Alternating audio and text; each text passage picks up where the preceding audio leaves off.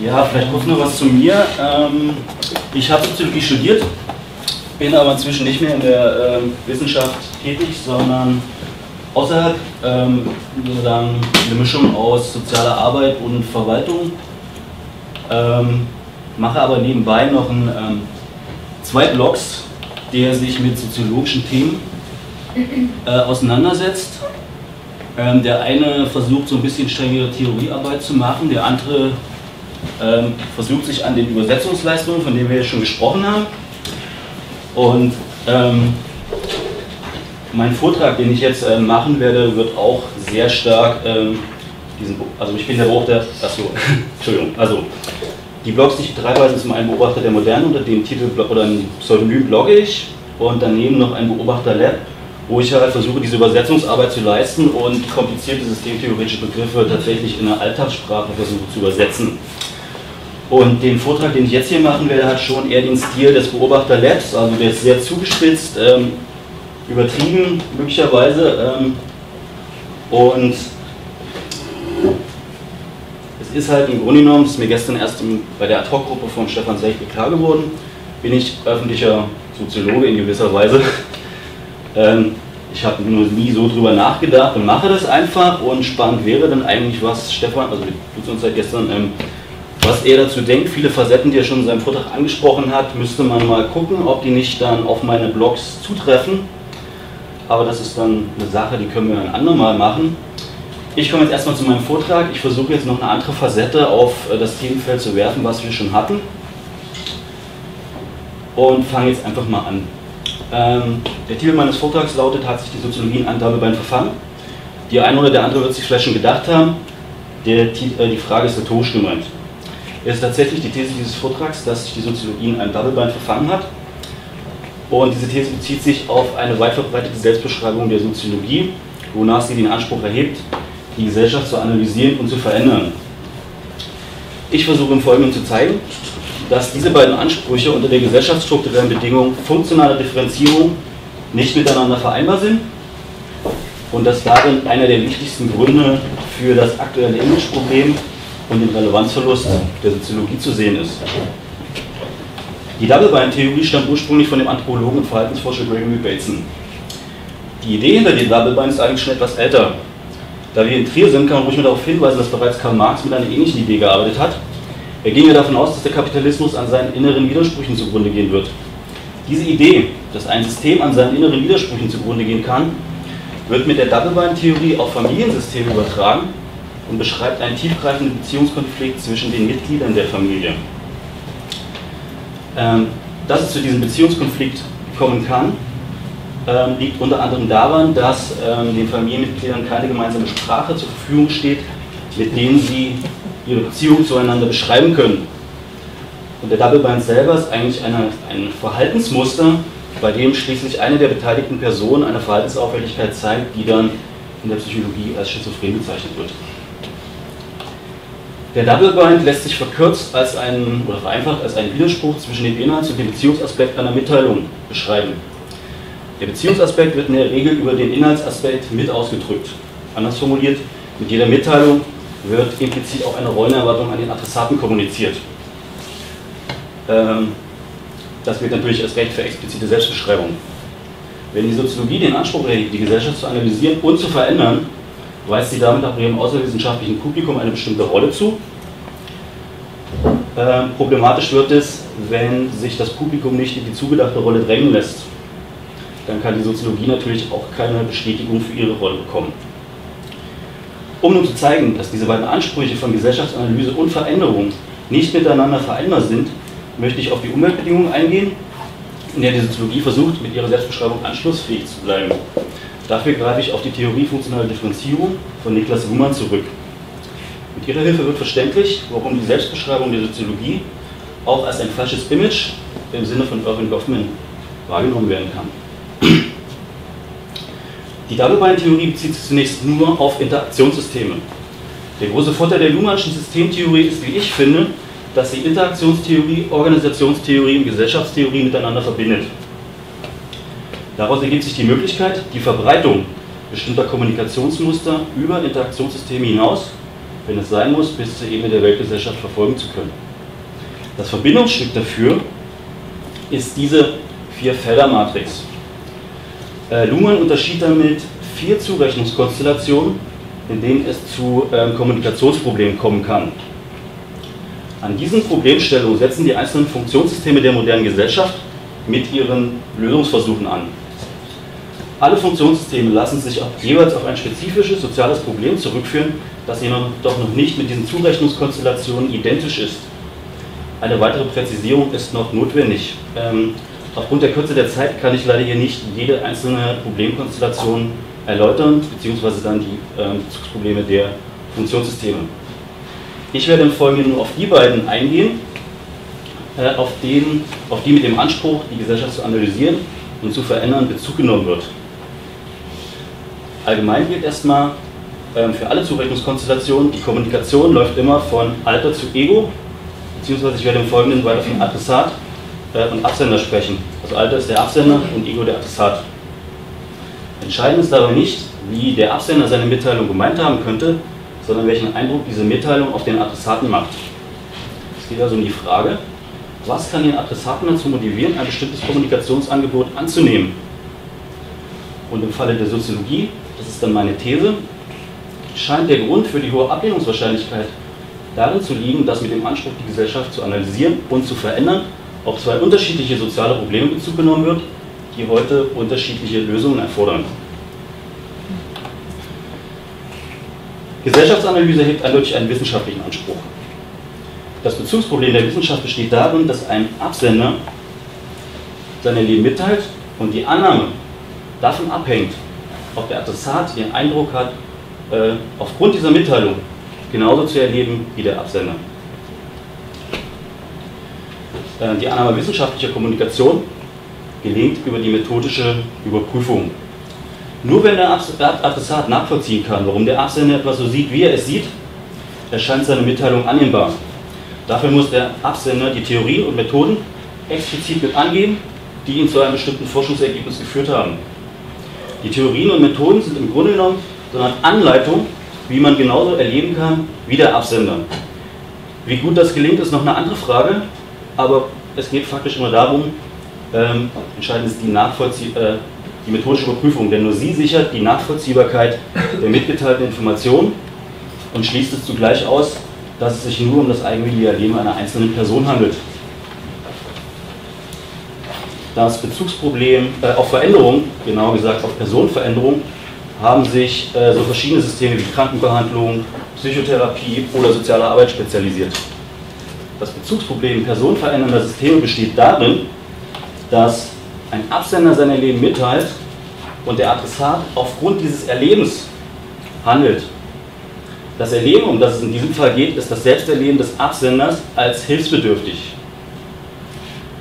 Bei körperlichen Verletzungen ist äh, die Hilfsbedürftigkeit aufgrund der Sichtbarkeit der Verletzung noch relativ leicht nachzuvollziehen. Schwieriger wird es schon bei Beschwerden, die keine körperlichen Symptome zeigen. Ähm, genauso schwierig gestaltet sich dann auch die Auswahl geeigneter Behandlungsmethoden. Das äh, Problem macht sich am stärksten in der Psychotherapie bemerkbar. Allgemein gilt für alle äh, Systeme der Personenveränderung, es treten immer dann Probleme auf, wenn die Selbstwahrnehmung und Fremdwahrnehmung als hilfsbedürftig nicht miteinander übereinstimmen.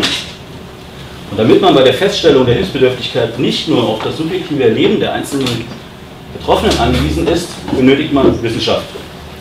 Und für die Entwicklung geeigneter Behandlungsmethoden erst recht.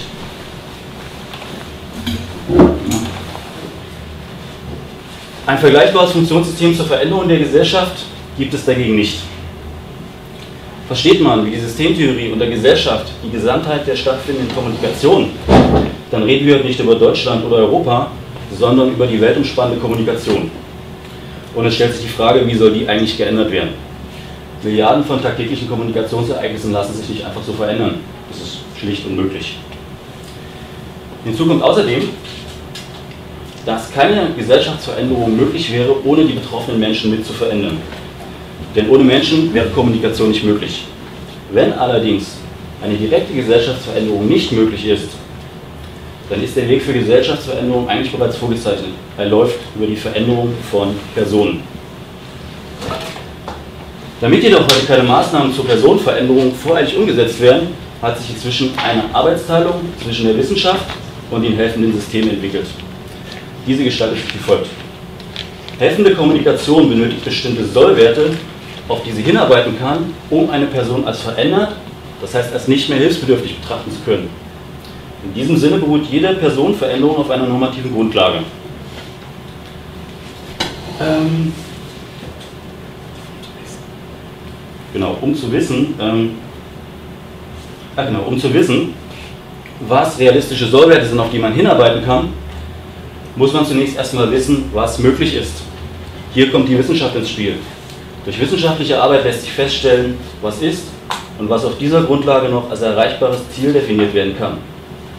Wissenschaft begrenzt also auf diese Weise den Operationsspielraum helfender Kommunikation. Sie greift damit aber nicht selbst in die Operation helfender Systeme ein. Das ist ganz wichtig, um den Veränderungsanspruch der Soziologie beurteilen zu können. Bei Gesellschaftsveränderungen, wie sich das viele Soziologen vorstellen, ist praktisch nicht möglich. Das soll jedoch nicht heißen, dass, dass die Soziologie nicht in der Lage wäre, soziale Veränderungen anzuregen. Unmöglich ist lediglich eine direkte Gesellschaftsveränderung. Indirekt kann ihr das durchaus gelingen. Ähm, durch soziologische Forschung sollte eigentlich das Wissen über die Funktionsweise der Gesellschaft zur Verfügung gestellt werden, aus, äh, mit dem sich dann auch, ähm, mit dem dann auch die helfenden Systeme ihre Arbeit zur allseitiger Zufriedenheit erledigen können. Dazu muss die Soziologie darauf aufnahmebereit sein, wenn es zur Kritik an dem zur Verfügung gestellten Wissen kommt. Soll es in der Soziologie heute wirklich darum gehen, anderen Menschen zu helfen, dann kann es nicht mehr darum gehen, irgendwelche unerreichbaren Utopien zu erfinden. Unrealistische Erwartungen führen zu inadäquaten Lösungen, die am Ende mehr Schaden anrichten als Nutzen bringen. Das scheint mir einer der wichtigsten Gründe zu sein, warum äh, die Soziologie heute ein Imageproblem hat. Sie stellt häufig kein Wissen mehr zur Verfügung, mit dem es möglich wäre, anderen Menschen zu helfen. Ich weiß, eine ziemlich starke These. Ähm, nichtsdestotrotz, äh, das kann sich nur ändern, wenn die Soziologie ihren Wissenschaftsanspruch wieder ernst nimmt. Handwerklich gute Analysen machen eine effektive Hilfe möglich. Die Soziologie muss also methodisch geprüftes Wissen zur Verfügung stellen, aus dem sich dann auch Handlungsmöglichkeiten oder äh, Operationsmöglichkeiten für helfende Kommunikation ableiten lassen. Voraussetzung dafür ist jedoch, dass sie den Anspruch, die Gesellschaft verändern zu wollen, aufgibt. Ähm, Im Kontext der Theorie funktionaler Differenzierung ist deutlich geworden, dass es sich dabei nicht nur um eine praktische Möglichkeit handelt, sondern zugleich auch um eine gravierende Fehlinterpretation der eigenen gesellschaftlichen Rolle. Die Krise des soziologischen Diskurses lässt sich meiner Meinung nach äh, zu weiten Teilen aus dieser Rollenvermischung zwischen helfendem und, äh, und analysierendem Anspruch erklären. Die Soziologie ist meiner Meinung nach heute nur noch damit beschäftigt, um den Beziehungsaspekt bzw. ihre eigene Identität zu ringen. Und darüber hinaus ist es nur noch sehr schwer möglich, etwas in der Sache äh, beizutragen. Einer der Gründe dafür scheint mir zu sein, dass ähm, in der Soziologie heute überwiegend Theorien verbreitet sind, in denen es nicht mehr möglich ist, die Beziehung der Soziologie zu ihrer Umwelt zu beschreiben. Hinzu kommt weiterhin, dass äh, funktionale Differenzierung auch an der sozialen Umwelt der Soziologie nicht spurlos vorbeigegangen ist. So heißen, von der Soziologie als Wissenschaftsdisziplin wird heute überhaupt nicht erwartet, dass sie die Gesellschaft verändert. Der helfende Anspruch kann im Kontext dieser Erwartungshaltung nur noch als ein falsches Image wahrgenommen werden, denn er widerspricht dem wissenschaftlichen Anspruch. Ähm, sollte die Soziologie trotzdem weiter an diesem Doppelanspruch festhalten, befürchte ich, wird sie weder ihrem helfenden noch ihrem wissenschaftlichen Anspruch gerecht werden. Das wird weite Teile des Publikums dazu treiben, sich von der Soziologie abzuwenden. In meinem Vorabtext für den Blog des Soziologie-Magazins habe ich diesen Prozess, äh, der daraus entsteht, als Spirale wechselseitiger Nichtbeachtung beschrieben. Aus Zeitgründen kann ich jetzt auch leider nicht weiter darauf eingehen. Bei Interesse dann auf dem Blog des Soziologie-Magazins vorbeischauen. Ähm, kurz gesagt, es kommt zu einer langsamen Explosion der Soziologie. Es muss allerdings betont werden, dass der Double Bind, also die Doppelbindung zwischen den Teilen der Soziologie und den Teilen des Publikums besteht, die weiterhin an diesen Doppelanspruch der Soziologie glauben. Die sinkende Anschlussfähigkeit der Soziologie ist eigentlich nur ein Nebeneffekt dieses Double Binds. Ich hoffe, ich konnte mit meinem Vortrag etwas plausibel machen, dass sich äh, die Soziologie in einem Doublebein verfangen hat und nun langsam an den widersprüchlichen Erwartungen, die sie selbst verbreitet hat, äh, zugrunde geht. Der innere Widerspruch, äh, Widerspruch der Soziologie besteht in dem Doppelanspruch, die Gesellschaft analysieren und verändern zu wollen. Dieser Widerspruch lässt sich auch nicht auflösen. Vielmehr ist eine stärkere Reflexion äh, des Verhältnisses bzw. der Beziehung der Soziologie zu ihrer gesellschaftlichen Umwelt notwendig. Ähm, sie muss sich stärker als Wissenschaftsdisziplin abgrenzen. Gelingt ihr das, wird es ihr auch gelingen, soziale Veränderungen anzuregen. Denn um soziale Veränderungen anregen zu können, muss die Soziologie eigentlich nur das tun, was ihre gesellschaftliche Funktion ist. Wissenschaft betreiben und die Forschungsergebnisse verbreiten. Man sollte sich allerdings auch darüber im Klaren sein, dass man keine Kontrolle darüber hat, wie das zur Verfügung gestellte Wissen von anderen angewendet wird. Das hatten ja schon meine Vorredner ein bisschen in der Beziehung zu den Medien angesprochen. Vielen Dank.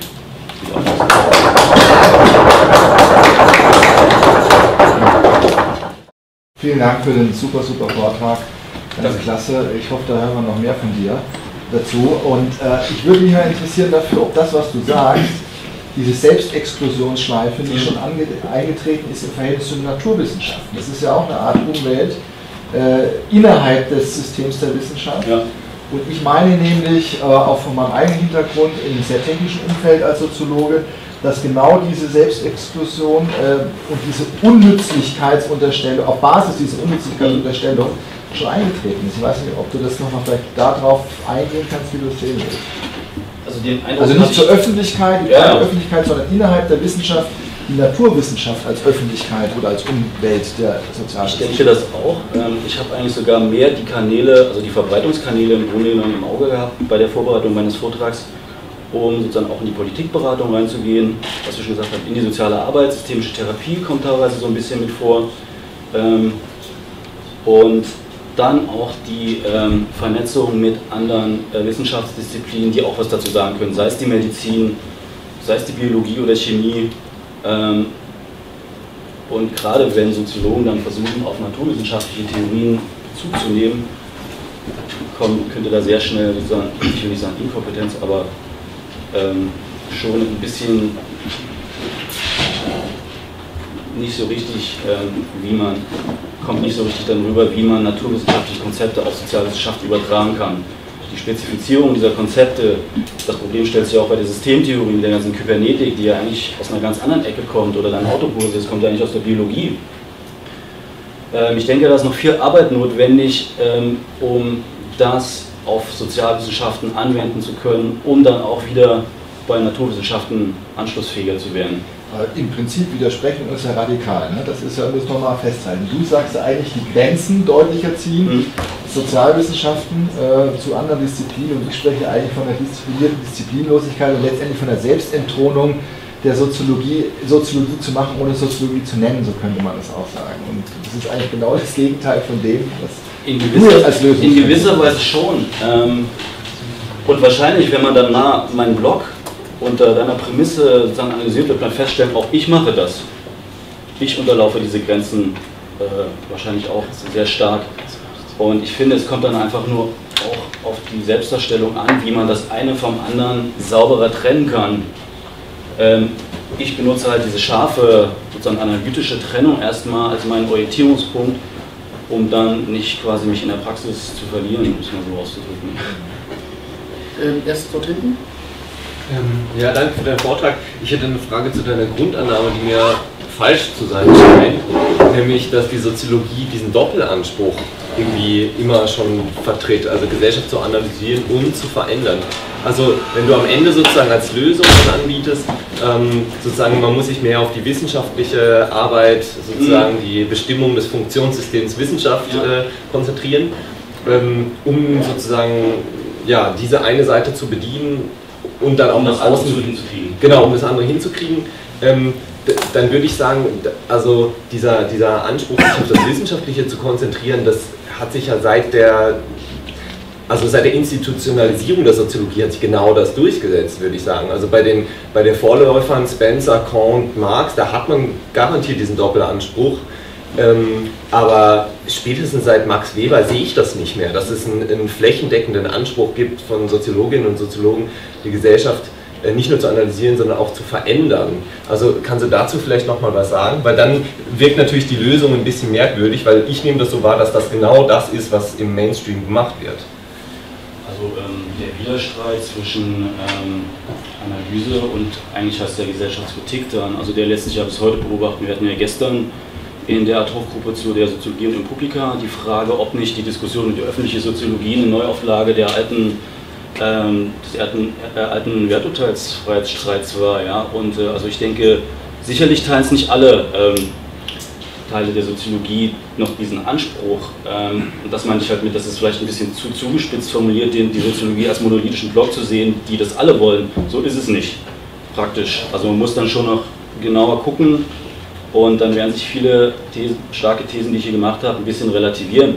Aber nichtsdestotrotz, auch wenn ich mir das ähm, Kongressprogramm angeschaut habe, es gab viele ähm, Ad-Hoc-Gruppen und Veranstaltungen zur kritischen Theorie. Und die kritische Theorie hat ja schon den Anspruch, die Gesellschaft zu verändern. Also das, ähm, und da sehe ich sehr wohl äh, noch diesen Widerspruch. Nicht bei allen Teilen der Soziologie, aber dieser Anspruch wird immer noch sehr stark vertreten, denke ich. Also genau darauf möchte ich hinaus. Mir kam das so ein bisschen wie so, so eine Erinnerung vor ähm, so wie, wie, wie ein entweder Nachhut oder wieder Neugefecht, kritische Theorie versus Systemtheorie. Das ist eine ganz lustige Geschichte. Ähm, wenn ich das nochmal aus einer distanzierteren Perspektive beobachten möchte, dann kann ich sagen, ist das nicht alles nur die logische Folgerung eines hypertrophierten Gesellschaftsbegriffes? Ich bin kein Gesellschaftsanalytiker als Soziologe. Ich analysiere soziale Handlungen und dann gibt es Gruppen und eine Großgruppe heißt Gesellschaft und so und das war's. Ja. Also nur wenn ich mich diesem hypertrophierten Gesellschaftsbegriff entweder der kritischen Theorie oder Newmans anschließe, dann habe ich überhaupt das Problem des Doppelbeins. Ich möchte das auch wieder runterbrechen auf ein ganz konkretes Problem, das was Sie genannt haben zu Naturwissenschaften. Und das möchte ich als Frage jetzt, als ethische Frage an alle hier stellen. Ja. Ich bin in, wann, in drei oder vier Wochen bin ich eingeladen bei einem Verband, ähm, der ähm, in Verbindung zwischen Fraunhofer Institut und ähm, Bundeswehr an einem Battle Lab arbeitet. Also es geht darum, ein, ein, ein Labor zu entwickeln, das sozusagen moderne ähm, Gefechtssituationen simulieren kann um Bundeswehrsoldaten in Auslandseinsätzen präziser auf komplexe Situationen vorbereiten zu können. Ja, Sie wissen, alle haben diese Simulationsapparate, die Piloten, die Autofahrer, die Rallye-Fahrer, alle haben sie. Die Bundeswehr hat das nicht, aber jede andere westliche Armee. Ähm, jetzt frage ich Sie mal, ich möchte da nicht Gesellschaft verbessern, ich möchte auch nicht verschlechtern, oder was mache ich da, verbessere ich, was, was, was, was mache ich da, ja? Äh, darf ich das als Soziologe? Oder, oder würden Sie sagen, nee, also Herr Albrecht, ja, wo, wo sind wir denn hier? Aber, aber ich meine, jetzt schicken wir die, die Leute da überall hin, um, um vielleicht irgendwann die Gruppen rauszuhauen oder so, dann braucht man doch sowas. Ja? Also wie geht man ganz konkret in so einer Situation mit so mega Ansprüchen, Gesellschaft zu verbessern oder was auch immer um? Also ich glaube, dass sozusagen diese, diese Ebene der theoretischen Fixierung dieses Problems an dem Problem vorbeigreift, ja? dass sich uns in der Berufspraxis laufend so konkret stellt, wie jetzt meine Frage. Ja? Mache ich das, ja oder nein? Und wenn ja, verbessere ich dann Gesellschaft oder welche Gesellschaft, ja, vielleicht nur unsere oder die Bundeswehr als Gesellschaft, verbessere ich dann, mhm. ist das sozusagen so ein Anspruch. Und, und analysieren tue ich natürlich auch, klar, aber nicht die Gesellschaft, sondern die konkrete Situation. Die Gründe, also da muss ich jetzt mal systemtheoretisch sprechen, wo ich mich eigentlich hauptsächlich als Soziologe verstehe. Bei Luhmann ist ja, dass er das Konkreteste, nämlich Kommunikation, zugleich als das Allgemeinste fasst, nämlich Gesellschaft. Mhm. Und deswegen versuche ich halt diese interaktionistische Lesart anzubringen, um auch ein bisschen das Bewusstsein dafür zu stärken. Einerseits, ähm, es ist durchaus möglich, zumindest Kommunikation zu verändern, nicht global, sondern wenn dann lokal. Es geht im Grunde genommen bei jedem selbst los. Jeder kann selbst was ähm, tun, um die Gesellschaft zu, besser, zu verbessern, indem er sein eigenes Kommunikationsverhalten mal reflektiert und überlegt, was er da macht. Und genauso gehen ja eigentlich Unternehmensberater vor Mhm. Ähm, oder Politikberater. Ja gut, okay, aber dann verzichte es jetzt als Ihr Plädoyer auf, für die sozusagen, dass ich mit meinem Handeln die Bundeswehr zu beraten, Kommunikationsprozesse einzugreifen, weil da geht es ja um Kommunikation zwischen unterschiedlichen Gefechtszentren und Ja. die wollen ihren Soldaten draußen sagen, Achtung, da hinten im Eck hat unsere Drohne einen entdeckt, passt auf Leute, äh, der schießt gleich auf euch, ja? Und dann verbessere ich Kommunikationsprozesse. Also die Frage ist, ob man da noch einen Soziologen für braucht. Das wissen die wahrscheinlich schon selbst am besten, wie die ihre äh, sozusagen Handlungs-, also Leben und Handeln koordinieren. Naja. Ähm, wissen nicht, die brauchen da echt soziologischen Beratungsbedarf. Aber meine Frage ist, auf welcher konkreten Ebene stellt sich diese ganz abstrakte, sozusagen ähm, ähm, ähm, systemtheoretische Frage, die uns in unserem Berufsalltag sozusagen dann weiterbringt? jetzt hier, würde Ja. ich sagen. Okay. Äh, wir haben da hinten noch eine Frage. Ich möchte nur ähm, kurz anmerken, wir haben, äh, Stefan Bauernspiel hat ein Luxusproblem. Der ähm, wird hier noch einen äh, Vortrag halten und anschließend noch woanders. Das heißt, aber bitte, nur als Anmerkung. ähm, Ja, ich wollte gar nicht eine Frage stellen, sondern ähm, also ich persönlich würde sagen, wenn man vor so einer Frage steht, dann muss man die sich selbst beantworten. Also ich möchte das für niemand anderen be äh, beantworten. Ich möchte auch nicht sagen, dass ich das machen könnte, ob der jetzt ähm, die Bundeswehr unterstützt. Also ich, ich finde, also das ist eine besonders schwierige Frage auch. Ich meine, die Bundeswehr geht in ein anderes Land und kämpft da. Und äh, Sie haben jetzt auch einmal so gesagt, ne, da ist eine Drohne, die hat jetzt jemanden erfasst. So, nein, man, das wissen wir alle, Drohnen zählen nicht unbedingt so sicher, wie man uns das hier so erklärt. Ne? Also ich finde, Krieg ist nochmal eine Ebene, die das Ganze wirklich sehr schwierig macht. Und ich finde auch, äh, unterstütze ich die Bundeswehr, ist auch eine Frage, die jeder für sich selber wirklich moralisch unterstützen muss, äh, klären muss, so, ob, ob er oder sie das wirklich machen will oder nicht. So, ne? also ich, ich würde es nicht machen, so, um es mal ganz klar äh, zu sagen. Naja. Also, wenn, ich eigentlich noch einen Punkt machen würde, was ich dann auch mit meinem Vortrag eigentlich bewusst zu machen versuche, ist, wie schwierig das eigentlich Gesellschaft zu verändern. Also, und äh, weil es halt gar nicht möglich ist, geht es bei jedem Einzelnen im Grunde genommen los. Ähm, was man dann daraus macht, ist genau die Entscheidung jedes Einzelnen. Im Grunde genommen spielen auch biografische Faktoren eine Rolle, was für Themen man sich sucht, um da dann vielleicht Probleme zu erkennen, die man lösen möchte. Ja? Und da kommt dann eigentlich auch die Energie und die Motivation jedes Einzelnen her, sich da reinzuhängen und da weiterzumachen. Wir haben noch Und, äh, zwei Wortmeldungen, ähm, drei sogar. Dann vielleicht äh, wollen wir Stefan Bauer bitte. Also nur eine ganz kurze Anmerkung. Ich habe manchmal den Eindruck, dass es nach wie vor so ein Problem von, von einem Selbstverständnis der Soziologie auch in einem Wissenschaftsfeld ist. Also das nach wie vor, ich glaube, das ist, kann man sich historisch gut angucken oder kultursoziologisch, eine sehr deutsche Unterscheidung zwischen so einem praktischen, naturwissenschaftlichen wie auch immer gearteten Wissen und so einem kritischen Reflexionswissen, was dann die Geisteswissenschaften, insbesondere natürlich die Soziologie, weil sie alle anderen Wissenschaften noch beobachtet, anbieten kann. Und ich glaube, das ist ein Verständnis, wo man langsam sieht, dass das nicht mehr funktioniert. Also ich glaube, da, da muss sich auch jeder einzelne Soziologe und jede Soziologin nochmal fragen, weiß sie denn wirklich besser Bescheid darüber, was in der Welt passiert und was nicht. Also zum Beispiel diese Bundeswehrfrage kann man halt auch ganz anders stellen. Ähm, woher weiß man denn, dass das jetzt irgendwie so schlimm ist? Und könnte man nicht auch fragen, äh, was, äh, was mache ich denn in der Welt schlechter dadurch, dass ich Soziologe bin? Vielleicht ist das irgendwie eine ganz sinnlose Veranstaltung und vielleicht sollte ich mal irgendwie ähm, einen ganz anderen Job machen, wo ich irgendwie direkter handle oder was auch immer. Also welche Nichthandlungen ähm, äh, machen die Welt schlechter dadurch, dass ich Soziologe bin. Ähm, und ich glaube, in diesem Selbstverständnis, wenn man, wenn man sich ein bisschen runtersetzt in dem Anspruch und dieses Selbstverständnis ändert, zum Beispiel, das finde ich bei Gehlen ganz schön, auch so eine äh, ja, Handwerkswissenschaft einfach als Soziologie, was Sie vorhin auch gesagt hatten, dass man dort, wo man Soziologie brauchen kann, die auch nutzen kann, aber auch eben nicht in dem Glauben, dass das jetzt dann irgendein besonderes Reflexionsniveau haben müsste. Ähm, ich glaube, dann kommt man auch eher zu so einer Wirkung und wir sehen das ganz eindeutig, dass das was mit den Wissenschaftskulturen hat. Also in den USA stellt sich diese Frage einfach nicht. Und da findet eine ganz andere Soziologie statt, statt die heutzutage in ganz vielen Feldern auch nicht mehr Soziologie heißt. Das so. Ja.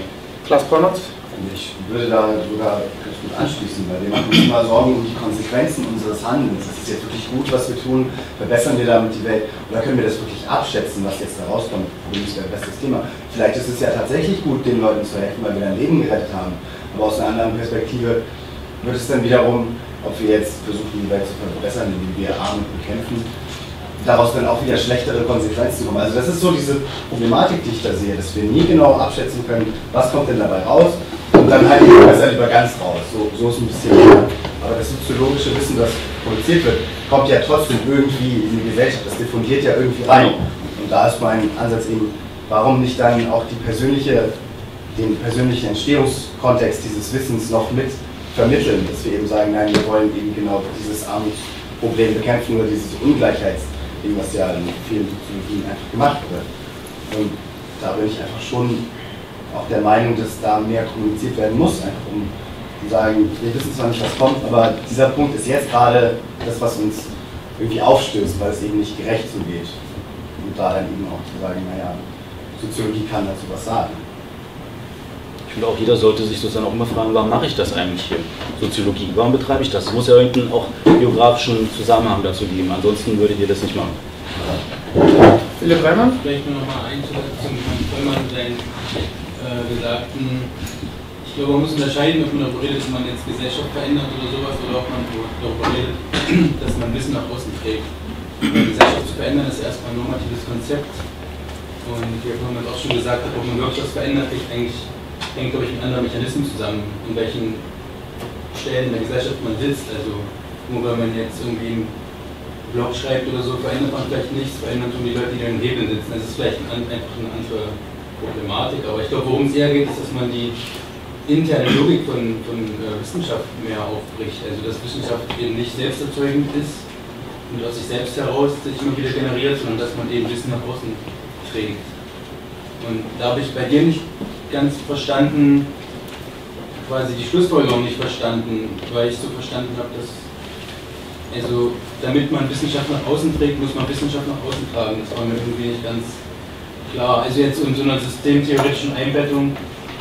Ähm nee, sozusagen das eine zu machen, muss man das andere tun. Das war eigentlich die Pointe des Ganzen. Um wirklich Gesellschaft, also man kann halt äh, das Wissen, was man produziert, nicht kontrollieren. Hatten wir jetzt schon ein paar Mal im Verhältnis zu Medien, aber auch ähm, wie das dann von Unternehmensberatung oder so angewendet wird kann man ja alles nicht kontrollieren, es sei denn, man geht selbst dann in diese Unternehmensberatung rein und wirkt dort mit. Also ich wende das praktisch, sozusagen das Wissen, was ich im Studium, wenn ich das noch zu Ende sagen darf, ähm, das Wissen, was ich im Studium erworben habe, wende ich heute praktisch in meiner Tätigkeit an, in gewisser Weise soziale Arbeit. Ich habe da erst bei der Arbeit verstanden, äh, was dieses ganze theoretische Wissen, was ich halt im Studium gehabt habe, praktisch bedeutet, wo ich das anwenden kann. Die ganzen großen Themen der Soziologie kommen dort zusammen und ich arbeite da mit Menschen, mit Schicksalen auch. Ja. Und ähm, das wird einem erst so richtig bewusst, wenn man vielleicht diesen Hintergrund mit hat, ähm, auf was für einer sensiblen Ebene man da arbeitet. Ne? Das klingt vielleicht komisch, dass ich als Systemtheoretiker wieder seine Arbeit mit Menschen so in den Vordergrund stelle, aber ich breche halt viele bekannte sozusagen, Klischees der Systemtheorie wieder auf.